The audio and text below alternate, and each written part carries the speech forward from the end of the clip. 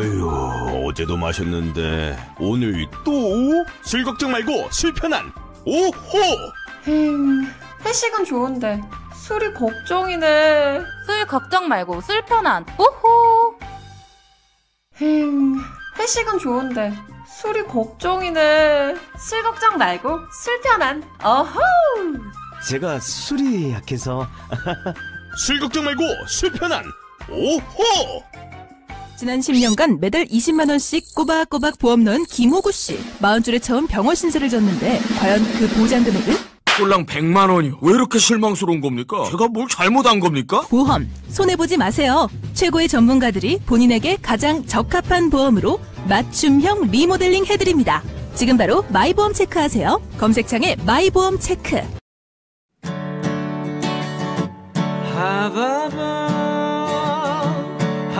하바바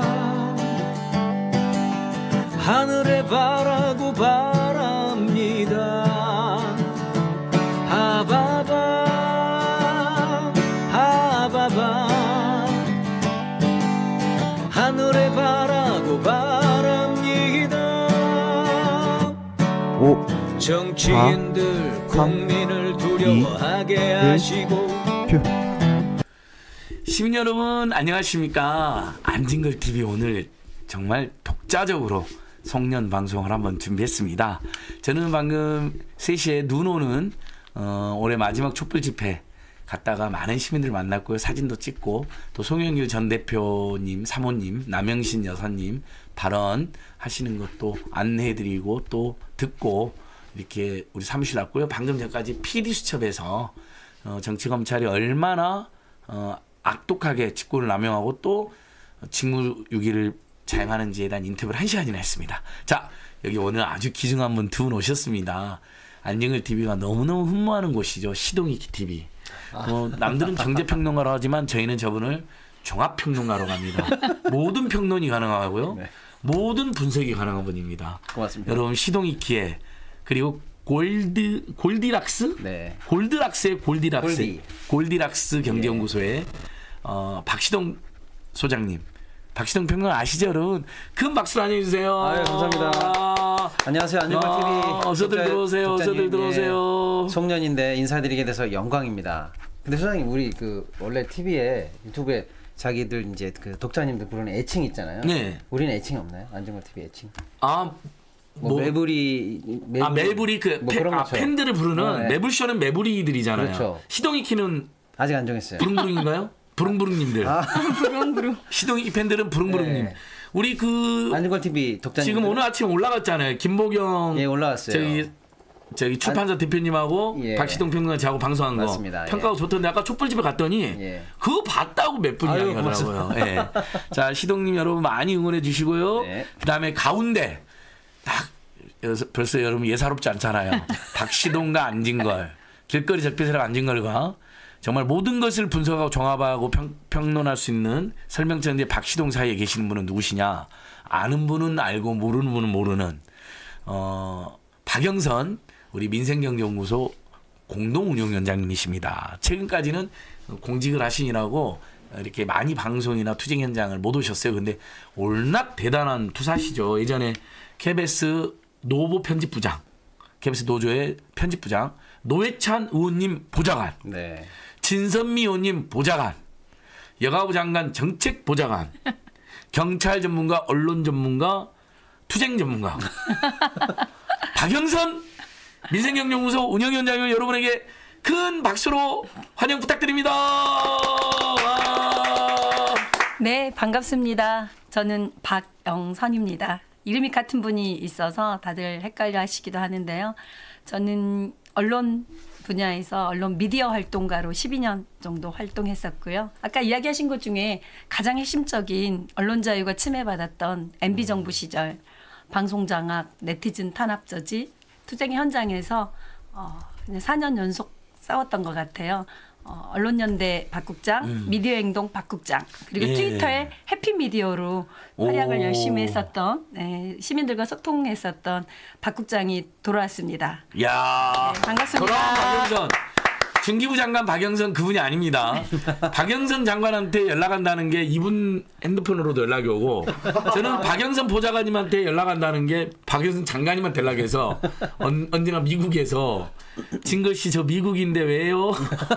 아 장관님 정말 죄송합니다. 제 친구한테 보낸다는 게 출제를 줬습니다. 근데 저뿐만 아니라 많은 분들이 실제 네, 그런 네. 혼동이 있었죠. 예. 또 제가 그래, 한번 박영선. 장관님도 너무 좋아하는데요. 네. 제가 또 국회에서 그 KBS 노조 8년을 마치고 국회 노회찬 의원 보좌관으로 국회 첫 2004년부터 2008년까지 노회찬 의원님 모셨는데 그리고 진선미 의원과 함께 음. 10년 어. 이렇게 같이 평생 동지로 함께 해왔는데요. 국회에 와야 될 제 택배들이 안 옵니다. 배달 사고가 종종 나거든요. 아. 예, 진선미 의원실 박영선 하면은 박영선 의원님, 박영선 네, 원내대표실로 가 있습니다. 아. 택배를 가지러 종종 갔었고요. 아직도 저한테 전화 주신 분들이 종종 있습니다. 그분들한테는 친절하게 연락처와 예, 이메일로 토스를 해드리고 있습니다. 근데 그 선생님 방금 그 네. 가장 최근에 그 이력이 빠지셨는데 우리 피디님이 올려주고 계시네요. 네, 네. 오 한국 공항사 첫 그렇죠. 여성 감사. 예. 네, 네. 그리고 윤석열 정권 쫓아내려고 했는데 전 직원이 지켜낸 첫 사례. 아. 이렇게 저는 알고 있거든요. 네. 정말 대단한 분이셔요. 네, 어쨌든 뭐 언론에서 활동했던 12년과 그리고 국회 입법 노동자로서의 13년 정도의 경험으로 또 공기업에 가서 SOC 뭐 도로, 철도, 주택 등 SOC 공기업으로는 최초 여성 감사했던 것 같습니다. 네. 그래서 뭐 김포, 김해, 제주, 뭐 여수, 예. 양양, 어, 대구, 청주, 군산 이렇게 14개 공항을 운영하는 공항공사의 상임감사로 오늘 눈이 오는데요. 우리 공항 관계자들 오늘도 엄청 고생하고 있는 것 같습니다. 공기업 상임감사 이 업무 잘 마치고 다시 공적으로 일해보려고 우리 안진걸 선수와 우리 박시동 예. 평론가님 함께 자리에 왔습니다. 그래서 지금은 일단 민생경연구소 원래 저희 민생경연구소 만들 때 또 안진걸팀 만들 때부터 또 안진걸과 함께하는 사람들 초대회장도 하시고 꿈수 청년 장학기금도 안착을 해주시고 최근에 또 100만 원도 기부해 주시고 아, 뭐 네. 정말 팔방미인이세요. 예. 그 박시동 평론가님랑 비슷해요. 팔방미인 박시동. 박시동 평론가님도 그래서 꿈수 청년 장학금에 100만 원 내신다면서요. 네, 그럼요. 예. 안진걸 소장님과 영원히 함께 하겠습니다. 예. 아, 그럼요. 안진걸 TV 수익금은 전부 다 꿈수 청년 장학금으로 하는 거 알죠? 네, 우리 네. 운영비에는 네. 전액이 갑니다. 네. 안진걸 TV 수익금 저도 안 만져요. 음. 정말로 어, 우리가 이미 이 TV를 만들 때부터 비영리 공익 채널로 선본 저희는 이제 아마추어기도 하니까. 근데 이제 시동이키님은 사실은 사업자 프로덕션이에요.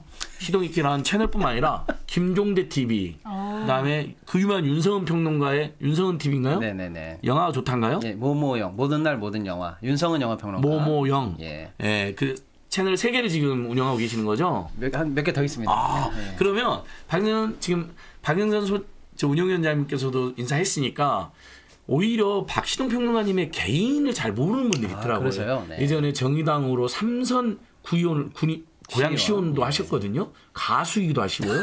그런 이야기를 좀 해주면 좋을 것 같아요. 지금 하는 일도 좀 설명도 그럴까요? 해주고. 예. 그다음에 골디락스도 또좀 알려주고 이게 뭐 최적의 경제 상태라는 건전 아닌데. 네. 그리고 이제 박영선 운영위원장님은 민생경제연구소 이제 일도 하시는 거 좋은데 제가 우리 박영선 소장님한테도 어떤 멋진 모임을 하나 만들어드리면 좋을 것 같아요. 아, 네. 뭐 박영선 언론연구소도 좋고 뭐 그런 거 있잖아요. 음. 한번 제가 연구해 보겠습니다. 네. 그 정도로 훌륭한 분입니다. 제가 음. 꼼짝 못합니다. 네, 거꾸로고요. 제가 안진걸과 함께하는 사람들 초대 회장이 된 거는 아유. 예, 민생 경제 현장 그리고 노동자, 농민, 서민, 사회적 약자들과의 늘 거리의 대통령으로 그리고 예. 우리 사회적으로 정말 힘든 손잡아주는 그 네. 현장에 따뜻한 마음으로 함께해주고 예. 있는 안진걸 소장에게 늘 동지들이 있고 함께하는 사람들, 예. 잔소리하는 사람들이 아유. 되기 위해 아남사를 만들어서 예. 늘 벗들과 함께하고 있습니다. 진짜 이거 정말 너무 잘해 주셨죠. 뭐 어딨냐 이거. 어. 이걸 이걸 만드신 분이 여러분 연말이니까 훈훈하게 꿈수 청년 장금 어제 그저께도 매불쇼에서 제가 들었는데 이걸 우리 박영선 네. 운영위원이 만들어 주신 분이에요. 정말 대단한 고맙고 내년 봄에도 여덟 우리 박시동 평론가 또 100만 원을 내신다고 하니까 어, 내년 봄에도 저도 좀 내서 여덟 명 정도 또 우리가 선정해서 지원하려고 합니다. 네. 여러분 잘 봐주시고요. 그 다음에 어, 숙 사건 번호 1335님께서 지금도 정의당이냐고 아닙니다. 박시동 평론가님은 제가 뭐 오늘은 포지티브한 야면 아무튼 정의당 내 여러 좀 저기 국민들의 많은 비판과 부- 실망이 있었잖아요. 그때 이제 당정은 정리하셨잖아요. 예, 예. 그러니까 저 오늘은 정의당 짧게 그럼 설명을 드려야 예, 되겠는데 설명 좀 하십시오. 일단은- 박시동 너무 예. 궁금하다. 박시동은 누구인가? 일단은 짧게 설명드리면요. 저는 원래 금융인 출신입니다. 그래서 그 여기저기 쳐보시면 나오겠지만 공적인 그 역할을 하고 있는 금융투자협회에서 잠깐 있었고요. 또 한투라는 곳에 잠깐 있었고요. 금융도 다양한데 그 중에서 특히 이 펀드, 증권 요런 쪽 이제 전문가다 이렇게 보시면 되겠고요. 어, 정치적으로는 뭐 정확하게 밝혀드려야 이제 오해가 없으시니까 그냥 쉽게 이해하시려면은 노사모다. 그리고 그냥 유시민 전 장관하고 그냥 행보가 똑같다 이렇게 유시민 노선. 예, 예. 우리가 좋아하는 노선이잖아요. 그렇습니다. 그래서 저희랑 비슷한데요. 예, 그러니까 노사모 출신 노회찬 노선, 유시민 노선, 그렇습니다. 어, 노무현 노선. 예, 그리고 문재인과 이재명 노선. 맞습니다. 예, 예. 그래서 민주당 아, 노선인데요. 이게 한때 아니, 이제 그러니까 어, 노회찬과 함께 민주당. 민주당입니다. 예. 한때 이제 그 금융인 하시, 하다가 어, 유시민 장관님과 함께 뭐 개혁당 그리고 이제 국민참여당 예전에 창당할 때 회사 때려치우고 제가 돕겠다 이러고 나와가지고 같이 당을 만들었었고 이제 유 장관님이 그때 이제 경기도지사 나올 때 저도 돕겠다 해가지고 저는 이제 고양시에 시의원으로 출마했는데 안 될 줄 알았는데 당선이 되는 바람에 아. 그래서 시의원으로 이제 삼선을 했었고요. 그, 삼선? 예, 그 당이 대단한 분이에요. 예. 그 당이 이제 흘러 흘러서 이제 정의당까지 왔다가 최근에 이제 정의당의 여러 가지 행보가 아, 국민 여러분들께 많은 실망을 안겨주고 있지 않습니까? 그래서 내부적으로 개혁해 보려고 그러다가 이제 안 돼서 이제 많은 분들이 당을 떠날 때 그때 이제 예를 들어서 이제 유시민 장관님 뭐 저 예를 들어서 천호선 전 청와대 대변인 뭐 이런 분들 있잖아요. 그분들과 함께 이제 당에서는 이제 에, 떠나게 됐고 저는 이제 정치는 그만하고 원래 제가 잘했던 경제 관련한 얘기를 다 좀 쉽게 예, 좀 전달해 드려야 되겠다라고 해서 이제 골디락스라는 경제 연구소를 만들었고 거기서 이제 여러 가지 평론을 이제 우리 사회 이제 유명하신 분들 정치인 분들이나 여러, 여러 셀럽 분들하고 이제 하다 보니까 그 중에 이제 몇몇 분들 예를 여러분들이 잘 아시는 뭐 신장식 뭐 이런 분들이 이제 방송 출연을 해라 너는. 어 너 평론이 제일 쉽다.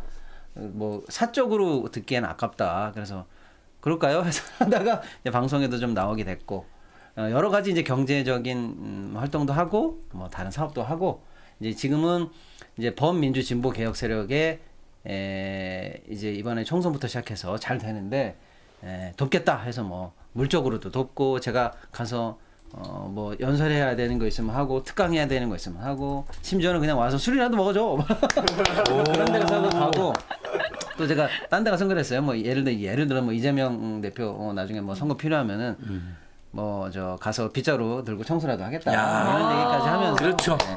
어쨌거나 범 매우 좋은 개혁 자세입니다. 세력들이 이 무도한 윤석열 정권을 빨리 끝내고 어, 참 세상이 빨리 오도록 하는데 미력이나마 돕겠다 뭐 이런 입장을 갖고 있습니다. 네. 와, 확실히 두 정말 두 박씨 아, 뛰어난 그러네요. 팔방미인 박시동과 박영근 두 박남매. 분의 박남마가 오니까 박남매. 지금 어제 안진걸 TV 그 김영문 청와대 사회통합 비서관님 오셨을 때 네. 200명 안팎 동접했거든요. 네. 지금 400명이 넘어버렸어요. 아유, 감사합니다. 동접이. 동접 400명, 500명도 쉽지 않아요. 생각해보세요. 제가 뭐라고. 물론 두 분 너무 훌륭한 분이지만 이 시간에 그럼요. 식사도 하시고 아마 네. 가족들하고 송년모임도 하고 친구들 이렇게 많은 분들이 계속 늘어나고 있어요. 지금 너무 고맙고요. 주변에도 홍보해가지고 한번 동접 천명을 한번 넘어봤으면 좋겠습니다. 그리고 어저께 그 김영문 어, 청와대 사회통합 비서관님은 음, 안진걸 TV보다는 임센식당 TV에서 6천 명이 넘게 오셨어요. 아, 네. 쭉, 그러니까 굉장히 청와대 두 분 이제 한 분은 비서관 한 분은 부대변이었잖아요. 음. 임세현 부대변이 그러니까 그 청와대 동료 둘이 이제 방송을 하니까 이렇게 또 그게 보기 좋아가지고 네. 많이들 오셨더라고요. 제가 어제 여러분 김용민 비서관님 끝난 다음에 어, 여 일대에서 동네 경제 살리기로 해서 박영선 우리 운영위원장하고 제가 정말 온몸을 희생하면서 A집, B집, C집 뭐한세 군데를 갔던 것 같습니다. 오늘 또 끝나고 저절한 성년회를 하면서 동네 경제 어려우니까 오늘은 여의도가 아니라 이제 박영선 운영위원장 음, 그 동네인 동작에 사시죠? 네, 동작에 가서 네. 좀 이렇게 나중에 이제 우리 또 박영선 운영위원장님이 동작이 큰 인물이 될 수도 있고요. 네. 또뭐 저는 정말 박시동 평론가님하고 이광수 평론가님 그다음에 우리 박영선 운영위원장님은 민주당에서 비례로 모시고 가도 좋은 분들이다. 오늘 뭐 우리가 선거에는 안 하겠지만 제 바람입니다. 잘 됐으면 좋겠습니다. 임세훈 수장님도 지역에 잘 됐으면 좋겠고, 근데 그런 연말을 맞이해서 그런 저 소망, 새해 소망을 밝혀봅니다. 근데 저도 이제 박영선 그 사, 지금까지는 상임 감사님인데 네. 뭐라고 여쭤볼까요? 아니 감사가 끝났어요. 그러니까. 예. 뭐 국장이라고 하시 하- 해도 된다 하셔서 옛날에 언론연대 예, 유명한 그렇죠. 박영선 국장님 유명하십니다. 박국 네. 예, 박국장님 그러면 다 유명한데 네. 사실은 이제 여러분들께 이제 제가 아까 안 소장님이 저를 소개해 주셨듯이 저도 살짝 보태면 그 국회 내에서 수많은 일들을 직접 처리하시면서 다양한 분야에 정말로 수많은 정책적 능력을 갖고 계시고 공기업 상임 감사를 통해서 국가적인 일까지 심지어는 뭐 여러분 그 공항 관련해서 우리나라가 뭐 선진국이냐 아니냐 하는데 그 엄청난 비전도 갖고 계시고 해서 대단한 분이시더라고요. 이런 분들이 사실 더 큰 쓰임이 있어야 될 텐데 그죠? 맞습니다. 네. 그리고 민주당이 지금 이제 인재를 지금 모으고 있잖아요. 네. 제가 추천했어요. 저는 아 그러셨어요. 네, 네. 조용히 이분도 모르게 박영선이란 분이 있다. 예. 당에서 너무 모르는 분만 모시고 생각하지 말고 음. 당 안팎에서 정말 검증됐던 분. 네. 근데 지금은 정치를 안 하고 있는 분. 근데 정책 역량이 검증된 분, 양심이 검증된 분은 모시자. 제가 얼른 추천했는데 어떻게 될지 모르겠는데요. 국회에서도 네. 수많은 상임위를 아, 거치셨죠. 대단하죠. 고정하면서. 예. 그뭐 노희찬 의원님하고는 법제사법위원회를 아, 하면서 예. 그 인권 증진, 네. 인권 보호를 위한 활동들을 그때 가장 큰 경험, 소중한 경험들을 쌓게 됐고 음. 진선미 의원님하고는 경찰 개혁, 네. 경찰 행정안전위원회를 한 7년 행안위도 정도 하셨고. 했고요. 네. 그리고 복지랑 뭐 예결위, 그다음 네. 마지막에 국토위원회를 네. 있으면서 국토위원장실에 있을 때 대한민국 지역 균형 발전, 국토 발전의 방향, 그다음 도로교통, 철도, 네. 주택에 대한 건강한 정책들을 어떻게 풀어가야 되는지 좋은 경험을 쌓았던 것 같아요. 그러니까 대한민국 행정 시스템의 굵직굵직한 부분을 어, 사적으로 제가 몇 말씀 나눠봤지만 정말 완전히 꿰고 계시더라고요. 행정, 교통, 국토, 부동산 이런 것까지 해서 경제까지 네. 해서 예. 그리고 그 중에서도 예. 경찰 문제, 골- 국정원 문제, 네. 그리고 노동 문제. 그러니까 한편으로는 권력 기관들의 개혁과 개선, 네. 국민이 군림하고 음습하게 탄압했던 자들에 대한 전문가세요. 그리고 많은 성과를 냈어요. 그런 권력기관 내부의 비리를 폭로한 분들을 챙기고 예. 공익제보를 언론에 연결하고 제가 그걸 알고 있고 그다음에 또 한편으로는 이제 노이찬 의원 보좌관 출신답게 또 캡스 노조 간부 출신답게 노동 문제 예. 또 노동 존중 사회에 대한 어 민생 민주주의 철학이 있으세요. 제가 오늘 시국 토크를 민생 민주 시국 토크를 하겠는데 나도 민생이 어려우니까 그러니까 정말 대단. 예, 우리 탕디 PD님. 오늘은 연말이기도 하니까 댓글을 잠깐 잠깐 제가 한번 어, 그래요, 그래요. 네, 좀- 읽어드리면서 할게요. 아, 지금 540명 돌파했어요. 네, 네. 여러분 1000명 정도 들어와 들어와.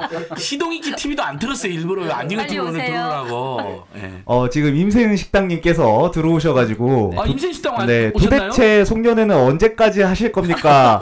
관악으로 송년회 하러 오세요라고 댓글을 아, 달아주셨고 관악을로 가야 되는데 아 네. 죄송합니다. 임 소장님 좀 이따 동작골 오세요. 그리고 어, 또 이- 이수신 장군님께서 언주 언니하고 다른 분이시죠라고 댓글을 달아주셨어요. 아, 연주 운님과 학번은 같아요. 학번이 같습니까? 그리고 예 저기 한번 저녁도 같이 먹은 적은 있지만 어, 그분은 이제 정치가로 이제 유명한 거고 우리 박영국 국장님은 행동가, 정책가, 운동가로 유명한 분이었죠. 예. 혹시 근데 외모 비교나 평가하면 안 되기 때문에 두 분 다 아름답죠, 멋있고 그렇죠? 그 정도로 이현주님 예, 또 만나요. 북콘서트 하시던데 예, 연락 주셨더라고요. 예, 또 탱디님 또요. 어, 네, 그 우선 그렇게 하고 이제 또 잠깐 잠깐 한 번씩 제가 말씀해 드릴게요. 와 지금 585명으로 늘어나 계셨고요. 민님께서 슈- 와 슈퍼챗도 또 싸주셨으면 진짜 감사합니다. 와, 고맙습니다. 김혜란님께서도 JP 이게 아 일본 이제 5천 엔 5천 원이나 싸주셨어요. 네. 그럼 오. 5만 원인데 그 등디 PD님께서는 김영춘 평가사님, 이재일 변호사님, 어 황 홍준희 대표님, 홍성일 사무처장님한테 연락해서 연말 슈퍼챗 에, 쏘시라고 하고요. 자, 이야기 계속 이어가면 자, 저기 정말 저는 시동이키 우리 박시동 평론가님에 대한 기대가 정말 큽니다. 우리가 목요일 날도 매불쇼 방송했는데 훈훈했어요. 네 네. 지금 그게 화제가 되고 있잖아요. 아, 예. 지난주에 우리 꿈수 청년 장학금 저희가 8명 2,400만 원. 그래서 지금 누적이 1억 4,100만 원인 거예요. 아, 매불쇼에서도. 예. 그래서 그게 계기가 돼서 매불쇼도 기부를 하자 그렇게 된 거잖아요. 매불이님들하고 출연 오죽 뭐한 3천만 원 모았다고 매불쇼에서만. 네. 그거 영상도 올라왔던데요. 강제 기부 이래도 되는가? 근데 현장 이렇게 매불쇼도 항상 같이 하시고 네. 정말 설명 천재. 아유, 이번에도 그 태영건설의 지금 오코아 사태 네. 너무 댓글이 다 전부 다 박시동 진짜 설명 천재다. 너무 고맙습니다. 쉽다. 네. 어떻게 그렇게 설명을 잘하세요? 설명을 잘하게 된 계기가 사실은 있습니다. 근데 그건 이제 너무 어. 어, 개인적인 얘기라서 친해지면 말씀드릴게요. 근데 오늘은 그러면 우리 안진걸 TV 독자님께 제가 뭘 설명하면 좋을까요? 뭐 올해 경제 오디 올해 뉴스 같은 거 올해? 경제 뉴스, 내년 경제 전망 네. 이렇게 조금 쉽게 설명해 주시면 좋을 것 같아요. 시간을 한 5분 정도? 예, 5분 정도 짧게. 예, 예. 2023년 오늘 거의 네. 마지막 방송이니까요. 예, 예. 올해를 쭉 돌아보는 나는 의미에서 올해 2023 5대 경제 뉴스 한번 제가 짧게 정리해 볼게요. 예. 첫 번째 빠밤 네, 셀프 BGM. 예. 셀프 BGM. 예. 최악의 최악의 경제 성장률 상저라고는 상저라고 하더니 끝까지 반등 못하고 침체. 요걸 제가 첫 번째라고 어, 뽑아봤습니다. 네. 어, 많은 분들이 우리나라는 그래도 야 세계 경제에 10대 강국 아니야? 그리고 문재인 대통령 때는 거의 뭐 G8까지 들어가는 거 아니야라고 했는데 지금 우리 경제가 예 엄청나게 뒷걸음을 쳐서요. 현재 명목 GDP 세계 13위가 됐습니다, 여러분. 13위? 그래도 잘한 거 아니야? 라고 생각하는데요. 그게 아닙니다. 어, 10위에서 13위로 3단계가 떨어졌잖아요. 그러면 우리 지금 13위에서 만약에 만약에 3단계가 더 떨어진다. 그러면 인도네시아하고 동급이 되는 거예요. 자, 그리고 위에 1등부터 12, 13까지 쭉 내려오는 이 나라들은 거의 선진국이기 때문에 변동이 없어요. 이 나라들이 대지진이 나거나 환란이 나거나 뭐 이런 큰 변고가 없으면 순위 변동이 없습니다. 그 이런 나라에서 3단계가 우리가 떨어졌다는 게 엄청난 일이거든요. 음. 우리 위에 이제 브라질하고 호주가 있는데 다 그대로입니다. 우리만 옆으로 빼서 우리만 13위로 다시 낑겨 들어갔다 이렇게 보시면 됩니다. 근데 왜 이렇게 됐느냐? 핵심은 예, 무역 수지인데요. 정부는 이렇게 얘기하죠. 아, 우리가 그렇게 못한 게 아니고 환율이 고환율이라서 어 달러로 평가하다 보니까 순위가 내려간 겁니다. 환율로 인한 아, 착시입니다. 이렇게 얘기하는데 그게 아니고요. 다른 나라들은 아, 윤석열 정부가 하는 동안에 상품 수지가 약 20에서 60%가 늘었습니다. 장사를 잘했다는 뜻이에요.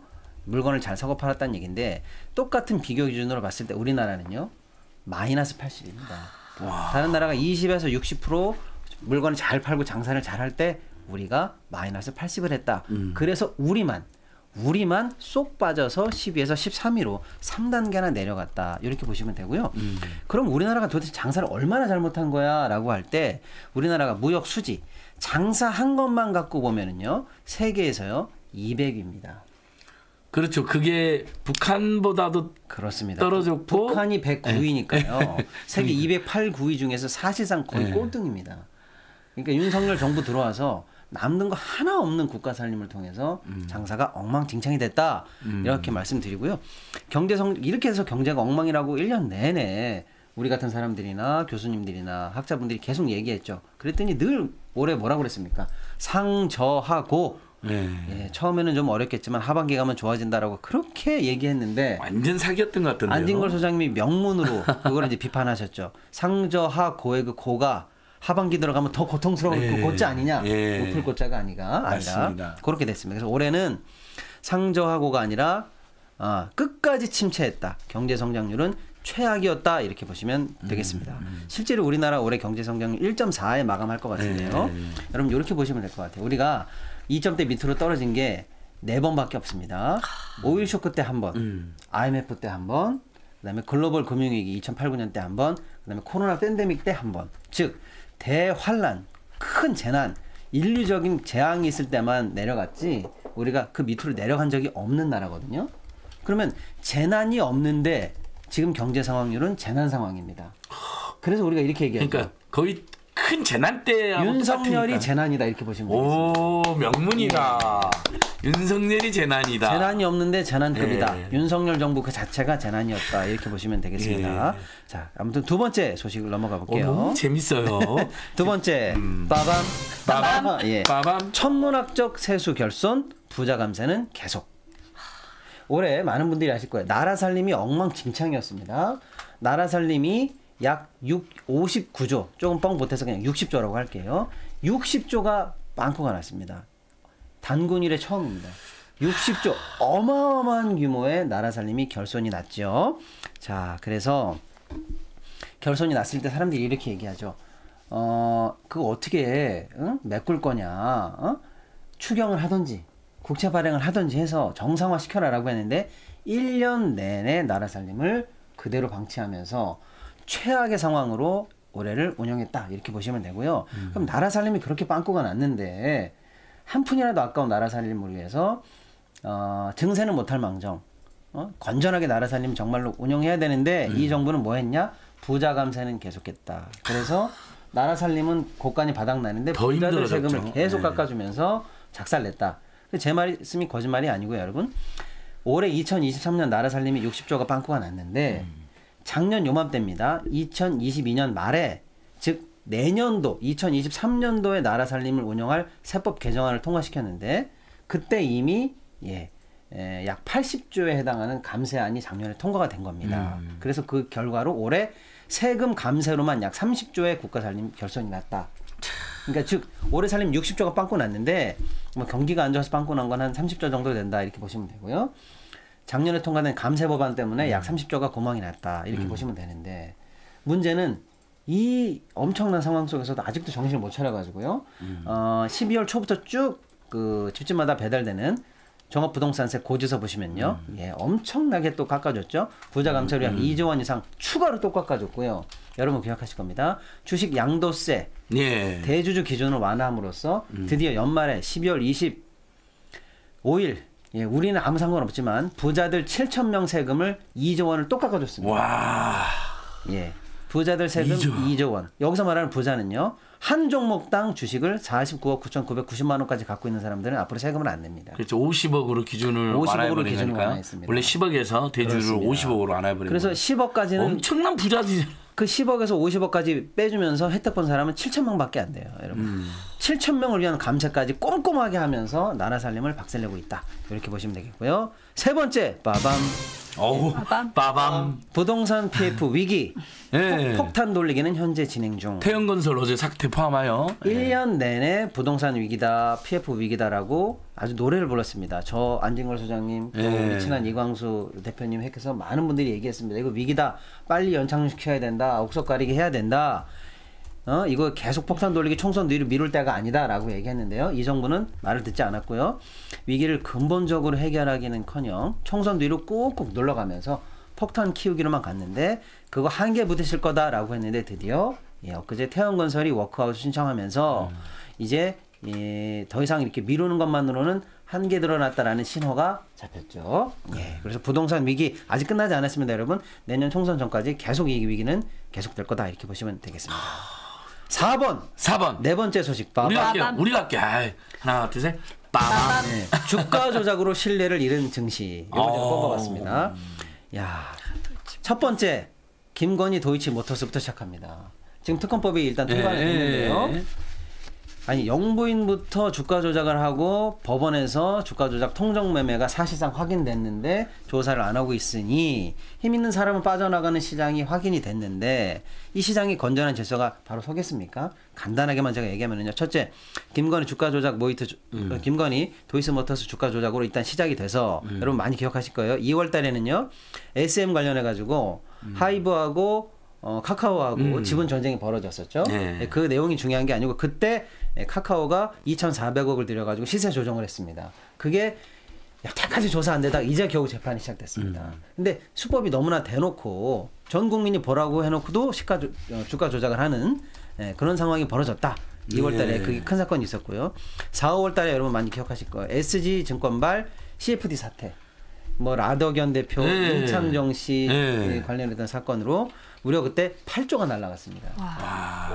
엄청난 사건이 있었죠. 그러면 6월 달에는요. 슈퍼개미 리딩방 사건이 있었습니다. 그래서 유튜브에도 많이 출연하는 유명한 슈퍼개미 두 명이 에, 자기네는 이미 주식을 사놓고 유튜브나 여러 경제 방송에서 그거 좋다 이렇게 띄워가지고 알고 봤더니 선행 매매로 부당 이득을 받았던 사건이 밝혀졌죠. 그래서 한 다섯 개 종목이 연속 하한가를 맞으면서 엄청나게 시장에 충격을 줬던 사건이 있었고요.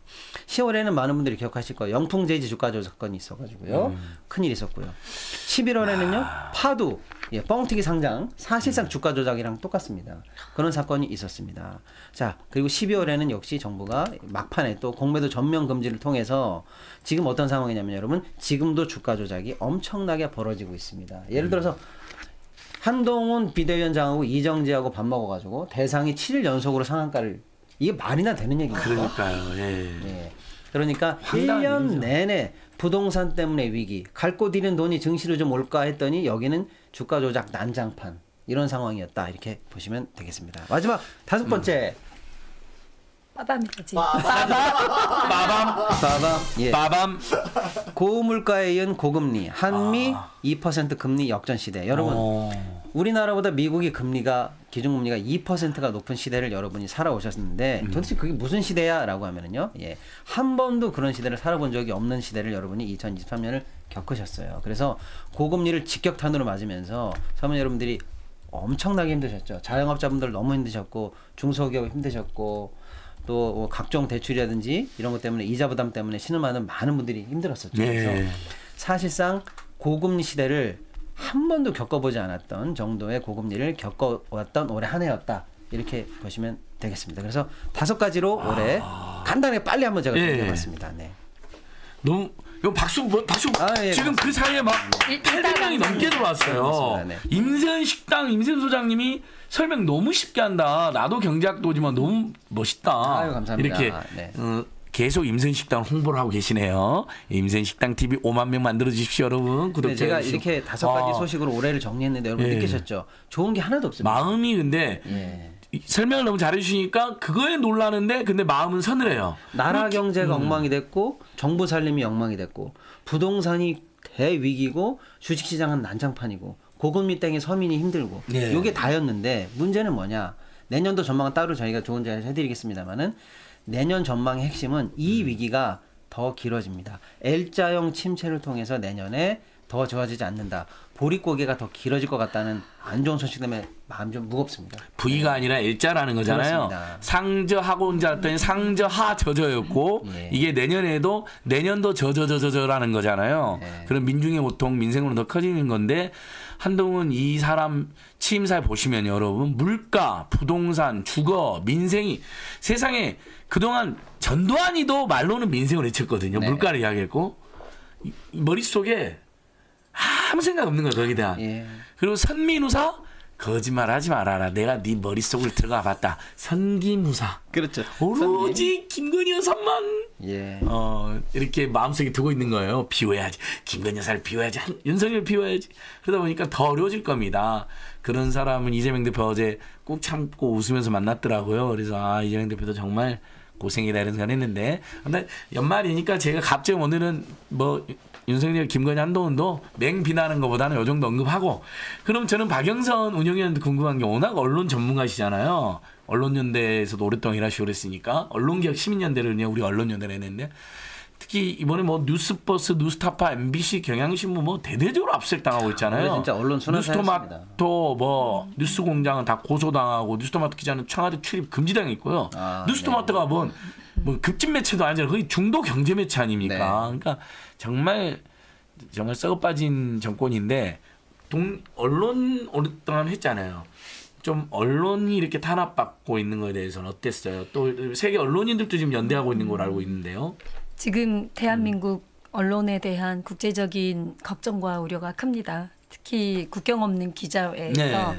대한민국 언론에 대해 그 매년 5월 3일 날 세계 언론 자유의 날을 맞아 전 세계 언론의 그 언론 자유 지표를 공개하는데 어, 저희가 윤석열 정부 들어서 올해 43위였는데 47위로 네 단계가 또 떨어졌거든요. 우리가 47이니까 언론 자유. 정확한 아유. 보도에 대한 지표 지수는 훨씬 더 떨어졌고요. 네. 그래서 그 지금 현재 방송통신위원회 위원장 그 과거에 MB 때 최신중 최시중. 방통대군 네. 방통대군 방통대군. 일대 이동관을 또 다른 방통대군으로 임명하고자 했지만 예. 어쨌든 탄핵이 됐고 예. 그리고 또 지금 김홍일 방통위원장을 인사청문회에서의 그렇게 부적격한 분을 그 윤석열 대통령이 가장 존경하는 검사 선배를 그 동생이 임명했는데 한동훈이고 형이 김홍일이더구만. 네. 그렇게 완전히 지금 정관계를 장악하고 있죠.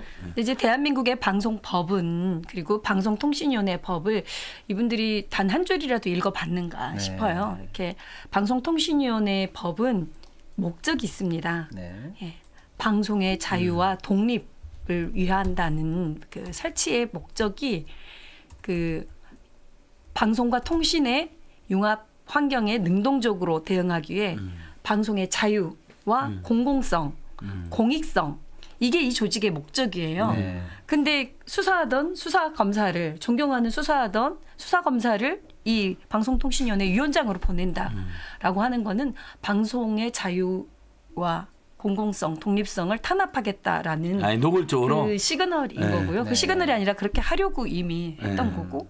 그래서 인사청문회 관련해서 이렇게 국회에서 그 통과가 안 됐을 때는 대부분 대통령은 일주일에서 열흘 정도 네. 그렇게 임명을 하는데 음. 뭐 하루 만에 임명 동의를 보내서 네.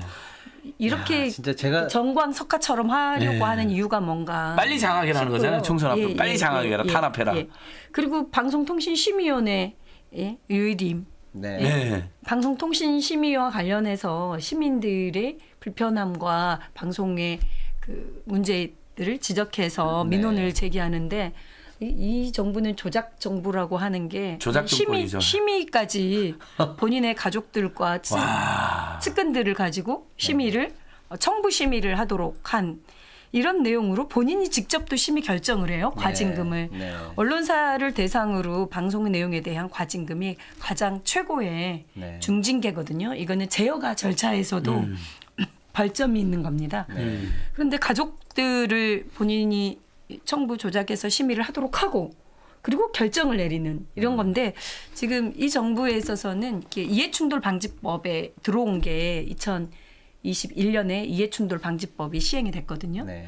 이해충돌 방지법은 과거의 부패 방지법 중에 이제 공적인 공공의 공무원 그리고 공적인 일을 하는 사람들이 사적인 관계로 어떤 심사, 허가, 음. 규제 이런 걸 하지 말아라라고 네. 법을 지정해서 음. 전 국민들이 다 이걸 집행하고 있는데 본인이 보, 본인의 가족들에게 사주를 하고 예.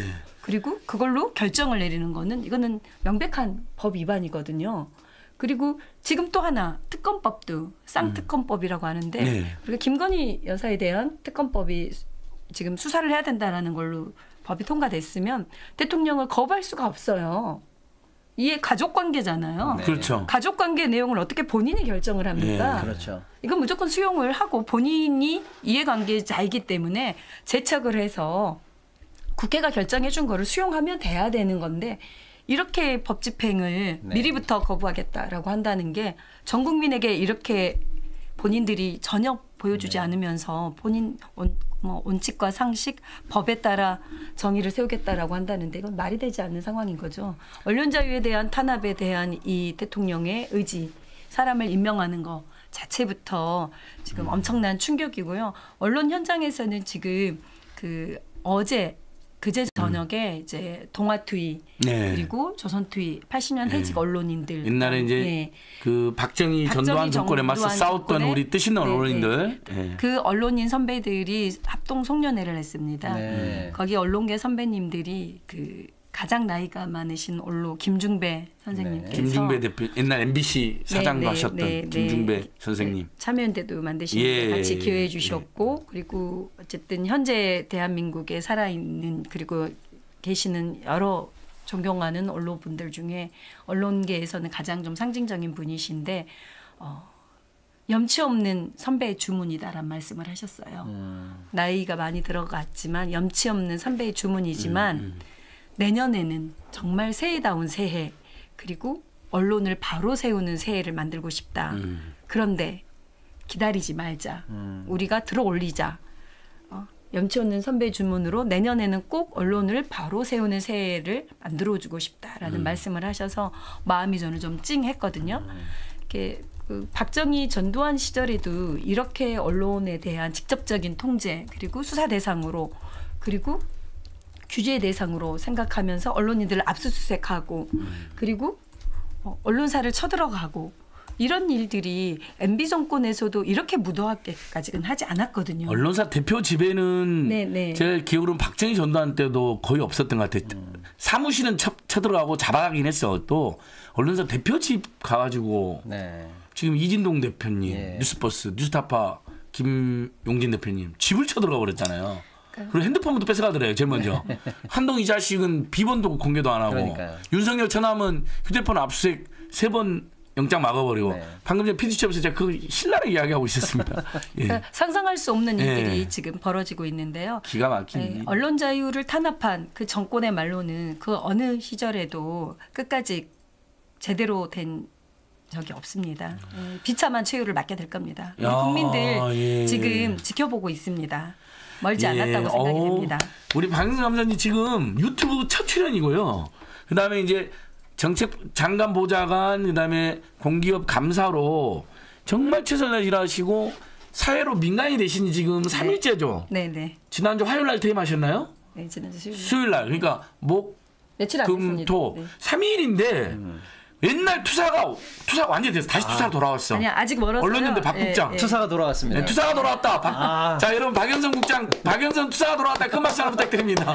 네. 아까 어떤 분들이 그 수박 으로 추정되는 박영선 장관은 아니시죠? 네. 예, 예, 저희가 뭐 그런 어, 있었습니다. 네. 그분 아니고요. 네, 해피미디어 박영선입니다. 네, 네. 사랑방송님께서 10만 아유. 2024원. 오, 감사합니다. 그러니까 2024년 10배도 행복해라. 네. 이건 안익을 TV에 대한 슈퍼챗이면서 우리 애청자 모두에게 덕담해 주신 겁니다. 정말 고맙습니다. 김영춘 평가사님도 무려 10만 원 슈퍼챗 써주셨는데 저희는 원래 이제 민생경륜 안익을 TV는 후원을 권유는 안 합니다. 다들 힘드시니까 다만 혹시 여력이 되는 분들이 이렇게 17반 모아주신 돈은 꿈수저 청년 장학금과 네. 또 작은 작고 어려운 단체들 돕는데 연대하고 또 투쟁하는데 우리가 쓰여진다라는 것은 확실합니다.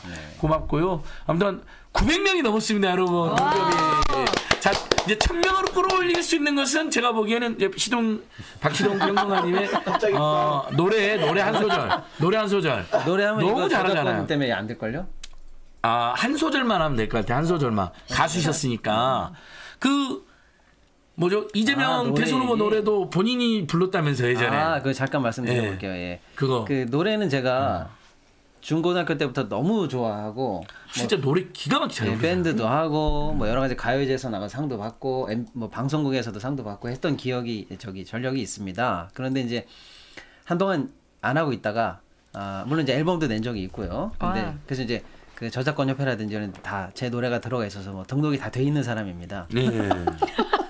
그런데 이제 정치 쪽에 오다 보니까 이것도 제주라고 막 그 공약도 뭐 전략 이런 것도 회의하지만 선거 때 되면은 선거 로고송 이것도 사실 되게 중요하거든요. 근데 보통 정치인들이 어떻게 하냐면 관련 업체에 이- 이다 사실은 외주주잖아요.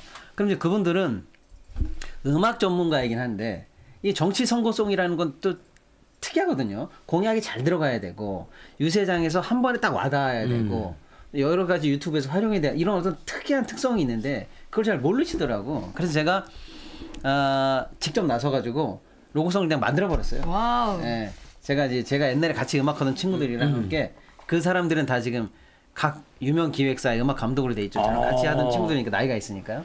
예, 그 최고의 프로들과 함께 제가 음악을 로고송을 만들어서 제가 직접 불렀습니다. 예.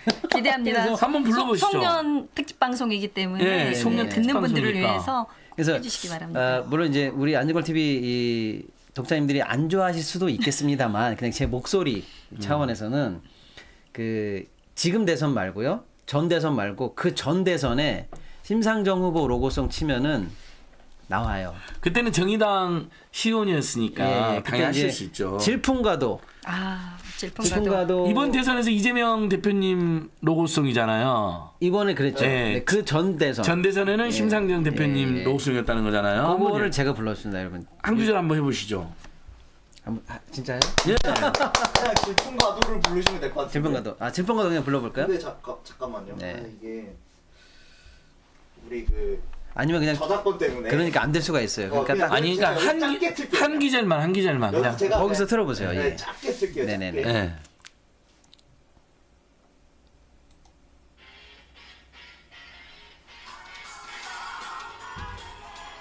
핸드폰으로 핸드폰으로 어쩔 수 없어요. 지금 여기에 예, 음악이 예. 들어가 버리면 오 노래 부르신다니까 천 명으로 지금 늘어나고 있어요.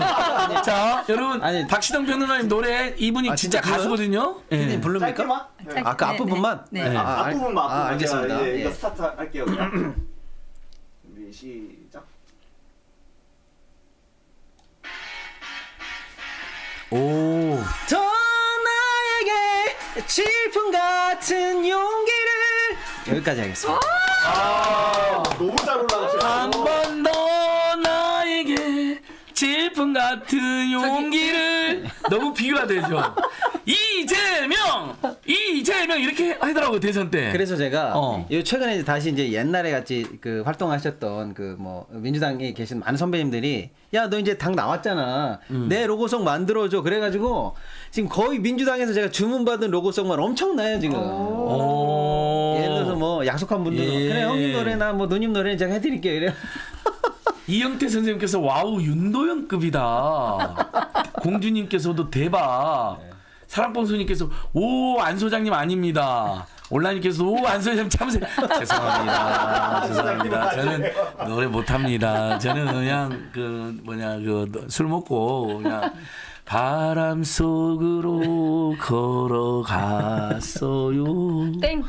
이른. 아침에 급찾지 죄송합니다 예, 예, 예. 조용필 선생님을 좋아합니다 노무현 전 대통령도 조용필 가수 좋아했대요 그 지난주에 노무현재단 오상호 전 사무처장님 나오셔가지고 네. 노무현 대통령님 후계자로 유시민 네 그 방송 봤습니다 어, 대표님을 지목했대요.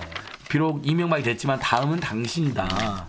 그랬는데 유시민은 아니다. 이제 그 노통이 돌아가신 다음에 자기는 안 하, 자기가 아니니까 나는 그렇다면 이재명이다. 이렇게 답을 했대요. 네. 그러니까 이제 노무현이 유시민에게, 유시민이 이재명에게 마음을 주고 응원해 준 거 참 훈훈하더라고, 그렇죠? 지금 연말인데도 불구하고 정치상 굉장히 불투명하고 황당한 일이 많지만 어, 저는 그 면면이 흐르는 우리 DJ 그리고 노무현 또 문재인, 이재명 이 흐름이 대세이고 그 큰 강에서 어, 이재명 대표도 뭐 비판받을 점도 있고 더 개선해야 될 부분도 많이 있겠지만 그 큰 흐름에는 변함이 없다. 그리고 저희가 뭐 비록 작은 유튜브고 시민단체지만 민생경제 살리기라든지 또 윤석열 김현 한동훈 정권에 대한 고발과 대응 견제는 어, 민당과 이재명 대표가 또 우리가 요즘에 최근에 또 좋아하는 진보 정당 중에 3인당이 생기지 않았습니까? 네. 노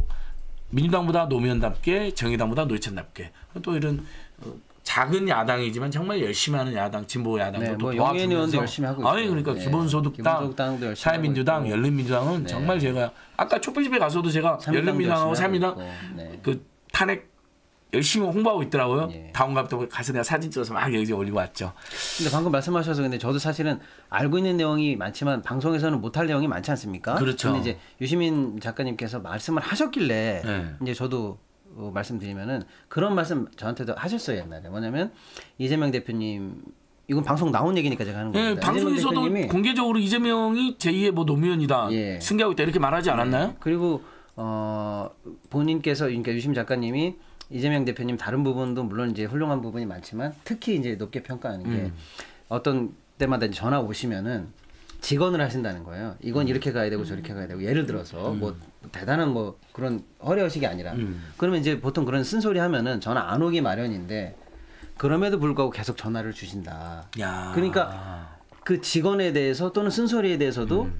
그대로 받아들이는 그런 인격과 그 태도가 있으시다. 그 굉장히 높게 평가하는. 왜냐면 정치인들이 다 자기들이 나중에 보면 다 왕이거든요. 그러니까 예. 남들 쓴소리 하는 거 생각보다 안 듣습니다. 예. 근데 이제 그렇지 않다. 이거 굉장히 높게 평가해야 되는 덕목이다라고 방송에서 말씀을 하셨어요.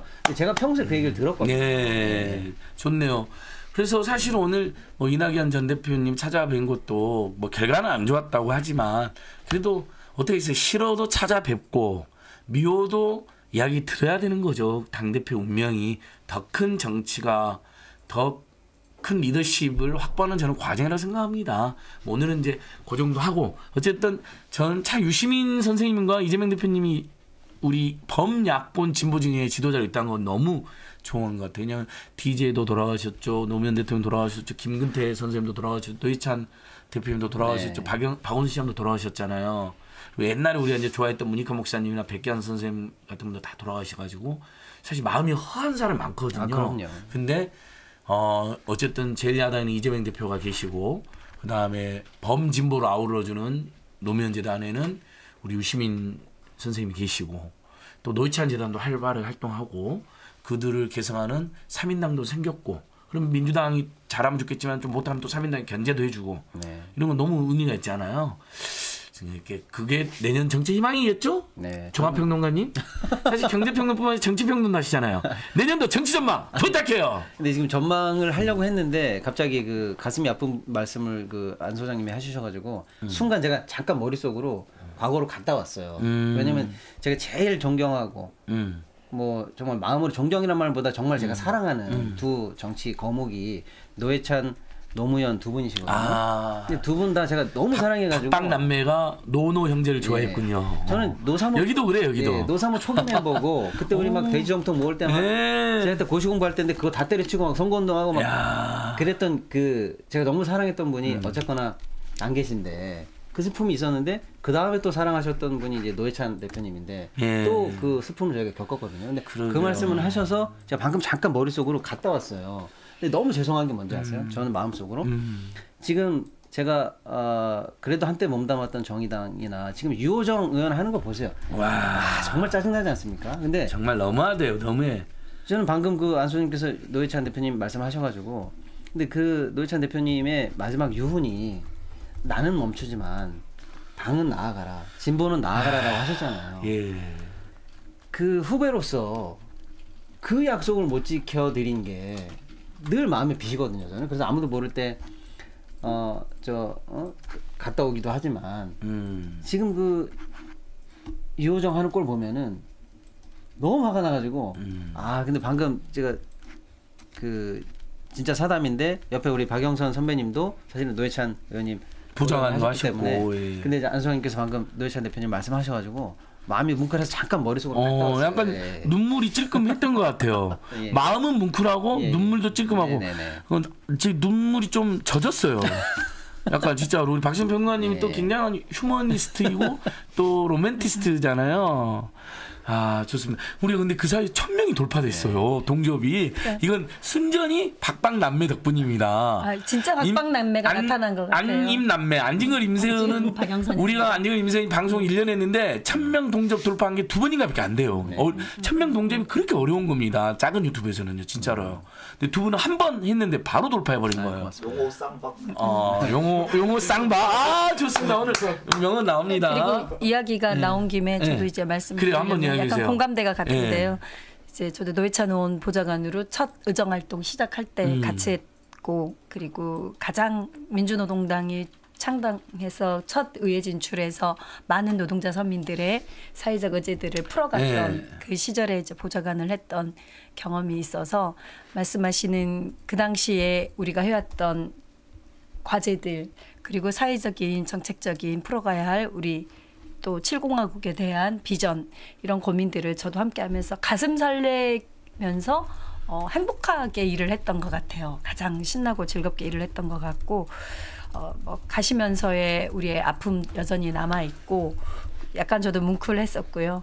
그 노무현 대통령님은 사실은 제가 가실 때 이렇게 어, 미디어 행동하면서 종편저지 투쟁하면서 시민들과 함께 네티즌들과 함께하는 이렇게 투쟁들을 계속 해왔었는데 시민 분향소를 지키는 일을 했었어요. 제가 마지막 예. 일주일 대한문, 예, 대한문에 이 빌어먹을 예, 이명박 세력 여러분 분양소까지 무너뜨린 네, 놈들입니다. 인간이 아닙니다. 시민 분향소에서 이렇게 보급 담당을 했었던 그 경험이 있었는데 그 말씀하신 대로 송년이라 우리가 좀 즐겁고 좋은 이야기를 했으면 했는데도 아직도 대한민국의 현실은 암울하고 또 내년에 경제적인 분석 또한 어려운 상황인 것 같아요. 어, 그 가운데 그래도 정치가 국민들에게 희망과 꿈 그리고 미래를 만들어 드려야 하는 그 임무가 있는 것 같아요. 그래서 정치적으로 새롭게 신당을 하겠다는 이준석 대표한테 이 말은 한마디 하고 싶어요.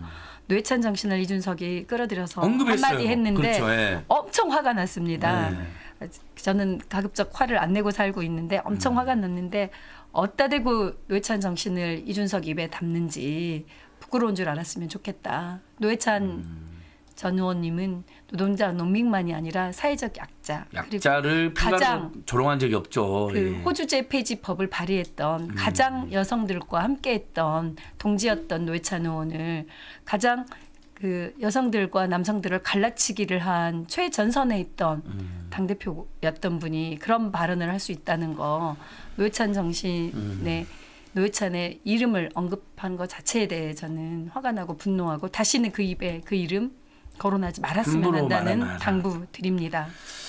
예. 저는 이제 그동안은 사실은 이제 정치를 뭐 전망할 수도 있고 네. 뭐 평론을 할 수도 있는데요. 그런 단계를 넘어섰다고 제가 이번 주에 느낀 게 뭐냐면 음.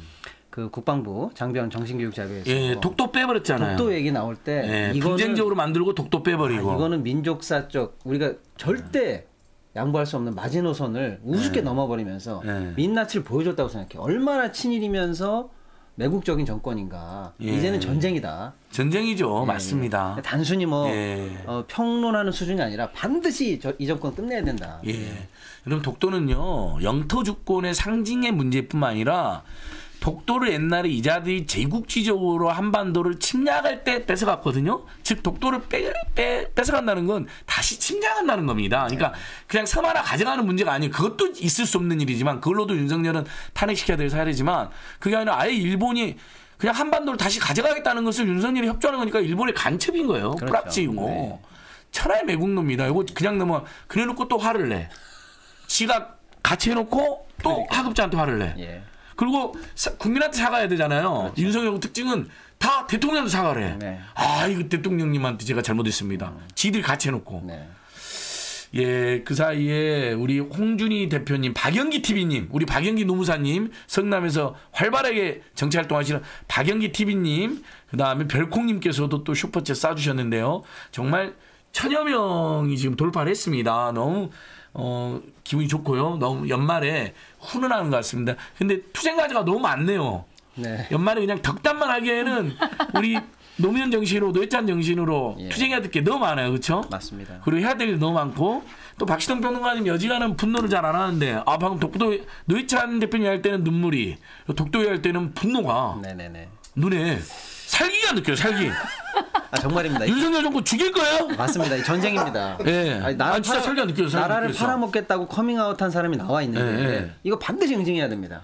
여러분 좀 더 들어와 주세요 천명 천백명 지금 박시동 윤석열 정권 박살내겠다 선언이 그 점잖은 경제평론가 박시동 설명 천재 유튜브 천재 박시동이 지금 원래 저분이 역사도 천재거든요 아이고 맞습니다. 그 특히 한일관계 전문가인데 와 방금 진짜 눈에 네. 우리는 개개인에 대해서는 유감이나 살기가 없죠. 윤석열 한번 아무리 미워도 우리가 그 개인을 싫어하는 게 아니잖아요. 그 정권과 세력을 박살 내버리겠다는데 아 내가 속이 다 구사에 실제 1011명으로 늘어났어요. 너무 좋습니다. 자 이제 우리가 서서 이제 마무리는 해야 됩니다. 피디 피디 수첩팀에서도 뭐 찍을 게더 남아 있다 그래가지고 여러분. 다음 다음 주 화요일 말고 다다음 주 화요일 날 제가 나올 겁니다. 한번 봐주시고. 여기 민생경제연구 사무실에 찍었는데. 자 그러면 내년도에 두 분의 꿈 희망 어떤 활동 뭐 뭐라도 편안하게 이야기하시고 마무리하면 좋을 것 같아요. 우리 애청자 여러분 저녁 시간에 이렇게 천 명이 넘게 제가 함께해 주셔서 너무 고맙고요. 박시동 평론가님의 시동위키 TV 우리 민생경제연구소와 함께 만든 임세은 TV 그리고 우리의 영원한 동지 인사이트 TV 우희종 TV는 어, 네 개나 되니까 헷갈리시면 적으시면 됩니다. 시동위키 임세은 TV 인사이트 TV, 우희종 TV 네 개는 오늘 진짜 연말 특집으로 구독 좋아요 꼭 한번 눌러 주십시오. 자, 두 분 내년도 소망, 뭐 활동 계획, 또는 투쟁 계획. 네, 일단 저는 뭐 개인적인 소망은 뭐 없습니다. 괜찮고요. 다시 한번 말씀드리지만 내년 총선 국가의 명운이 정말로 걸려 있다라고 생각하고요. 음. 안 소장님이라든지 우리 박영선 선배님, 국장님과 함께 또 뜻있는 많은 분들과 함께 총선 반드시 범 야권 진보 세력의 대승리를 통해서 이 정권 어, 네, 종말을 빨리 당겨야 된다. 그 활동 같이 저도 어, 미력이나마 도움면서 열심히 할 거고요. 경제적으로 예. 사실은 여러분들께 조금 더 쉽게 해설해드리면서 지금 우리나라가 아, 조금이라도 경제적으로 나아지는데 저도 어, 전문성을 조금 더 보태서 네. 사회에 조금이라도 보탬이 되도록 하겠습니다. 여러분 새해 복 많이 받으시고요. 안 소장님 제발 좀 건강하셔야 될 텐데 네, 예, 지금 예. 본인 몸이 본인 몸이 아닌데 지금 너무 막 쓰고 계세요. 아닙니다. 오늘까지 동네 경제 살리고 내일 31일 1월 1일 이틀간은 네. 어, 금주하겠습니다. 알겠습니다. 예, 우리 박영선 총대장님께서도 생각해보니까 아침에 우리 체육 MC님이랑 풋살했잖아요. 네, 네. 풋살했는데 풋살 모임 방에도 박시동 평론가님이 내년에는 꼭 탄핵합시다. 그 방은 축구방이었고 원래 정치하기 잘 안 하는데 근데 사람들이 다 호응을 해주더라고요. 그러니까 정말 중도적이거나 관망하는 분들도 이제 정말 분노가 네. 극에 달하는 것 같아요. 예, 우리 박영선 운영위원장님 오늘 정말 네. 같이 방송해서 너무 기쁘네요. 첫, 첫 예. 방송이긴 했는데요. 실은 준비된 방송이 아니었습니다. 음. 그러니까 한 3시간 전에 근데도 너무 잘하세요. 음. 갑자기 나와라 이래가지고 집에서 밥해 먹고 있다가 나왔는데요. 네. 그올 한해 정말 고생 많으셨고요. 다들 이렇게 화가 많이 차 있어요. 이 화난 것들로 술로 또 민생 경제를 살리는 걸로 술을 드시긴 하는데 다들 건강 관리 잘 하셔서 내년에 2024년이 청룡의 해입니다. 푸른 용이 하늘을 나는 그런 해이어서요. 내년에 반드시 정권 교체하는데 저도 힘을 보태려고 하고 특히 언론 자유를 탄압하는 윤석열 정권의 무도함 맞서서 방송 자유 그리고 언론 자유, 방송 독립 얻는데 힘을 보태고자 합니다. 우리 안진걸 소장님 그리고 우리 시청자분들 그리고 박시동 우리 박남매 이후로도 여러분들과 같이 종종 볼 수 있었으면 좋겠습니다. 새해 복 많이 받으십시오. 네, 이렇게 두 박남매랑 방송했는데 천 명을 돌파했기 때문에 일주일에 한 번씩 이렇게 셋이 해야 될지도 몰라요.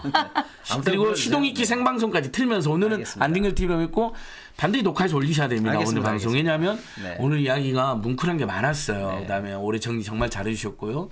내년도에는 반드시 우리 민중이 국민이 승리하는 해야 된다. 할 수만 있다면 총선 전에 윤석열, 김문희, 한동훈 정권을 끌어내리고 감옥 보내고 정말 다시는 그런 일 못하게 해야 되는데 그게 그것도 사실 국민들이 들고 일어나 가능한 거잖아요. 감히 저희들이 주장한다 해서 무조건 되는 게 아니거든요. 늘 저는 그렇게 겸허하게 저희들이 민심을 또 살피고 받들어야 된다고 봅니다. 근데 이제 국민들께서 그럼 총선에서 심판에 따르면 저희는 거기에 또 복무하고 그를 위해서 최선을 다하면 될 것 같고요. 그 선봉에 우리 박시동 종합평론가님, 박영선 총대장님, 우리 민생의 운영위원장님, 저희 모임의 총대장이에요. 중간 대장이 임세은 씨가 있고요. 그다음 총대장이 박영선 총대장님이 있습니다. 저는 사실 그 시켰네요. 임세은 소장님과 박영선 총대장님 부하예요, 부하. 저는 부하. 실무자고요. 아, 꼬봉, 꼬봉은 좀 어감이 너무 안 좋습니다. 어, 오야번 꼬봉은 일본 놈들이 쓰는 말이고 또 싫고요. 일본 제국자들 말이니까. 자, 박시영 평론가님 정말 올해 열심히 사셔서 고맙고요. 아, 네, 네. 애청자님들도 아마 박시동 평론가님 올해 많이 응원했을 텐데 내년은 더 멋진 활동 부탁드리고요. 아, 감사합니다. 박영선 총대장님 드디어 이제 다시 우리 투사로 돌아왔습니다. 여러분 많이 기대해 주시고 응원해 주십시오. 필요하면 우리가 박영선 TV도 만들 수도 있고요. 유튜브에도 일주일에 한 번이나 2주에 한 번 이렇게 셋이 방송 나오면 좋을 것 같습니다. 무엇보다 우리 애청자 여러분 정말 고맙습니다. 올해 얼마나 기가 막히고 코가 막히고 정말 힘든 한 해였습니까? 아직도 뉴스를 못 보고 잠자다가도 분노가 치솟고 날마다 나라와 어, 국민이 무너지고 망가지고 고통받고 경제 뭐 민생 외교 국방 역사까지 이제 독도까지 파괴되고 팔아먹는 이 지경인데 이 정말 정말 웃으면서 살기가 너무 어려웠을 겁니다. 하지만 여러분 그래도 연말 연시는 우리가 또 따뜻하게 또 마음은 또 평화롭게 이렇게 지내서 그래야 내년에 또 길게 제대로 싸울 수가 있거든요. 예, 자 그럼 여러분 우리 안진걸 TV 정말 송년 특집 오늘 천여 명이 넘게 들어와 주시고 뭐 나중에 이제 어, 시동위키에서도 또 녹화해서 올리면 거기서는 더 많이 봐주실 것 같아요. 시동위키 TV, 임세은 TV, 우희종 TV, 인사이트 TV 구독 좋아요 반드시 눌러주시고요. 안진걸 TV는 내년에도 더 열심히 여러분들에게 찾아뵙고 더 열심히 싸우겠습니다. 민생경제 공부도 열심히 하고 정책 파이팅도 열심히 하겠습니다. 자, 예, 탱디 PD님. 우리 세 분 그냥 딱 한 마디씩 덕담 한 마디 하고 딱 끝낼게요. 바로 그리고 어, 예. 방송을 한 번씩. 네, 새해 복 많이 받으십시오. 네, 내년에도 힘내서 윤석열 퇴진, 윤석열 탄핵 함께 합시다. 시민 여러분 사랑합니다. 늘 고맙습니다. 안녕. 감사합니다. 오늘 방송 마무리하도록 하겠습니다. 안녕. 형님 고생 많았어요. 수고 많으셨어요. 또 만나요. 안진규 TV 다른 컨텐츠도 또 많이 봐주세요. 끝인가요? 어휴, 어제도 마셨는데 오늘 또? 술 걱정 말고 술 편한 오호! 힝, 회식은 좋은데 술이 걱정이네. 술 걱정 말고 술 편한 우후 힝, 회식은 좋은데 술이 걱정이네. 술 걱정 말고 술 편한 어허. 제가 술이 약해서 술 걱정 말고 술 편한 오호! 지난 10년간 매달 20만 원씩 꼬박꼬박 보험 넣은 김호구 씨. 40줄에 처음 병원 신세를 졌는데 과연 그 보장 금액은? 꼴랑 100만 원이요. 왜 이렇게 실망스러운 겁니까? 제가 뭘 잘못한 겁니까? 보험 손해보지 마세요. 최고의 전문가들이 본인에게 가장 적합한 보험으로 맞춤형 리모델링 해드립니다. 지금 바로 마이보험 체크하세요. 검색창에 마이보험 체크.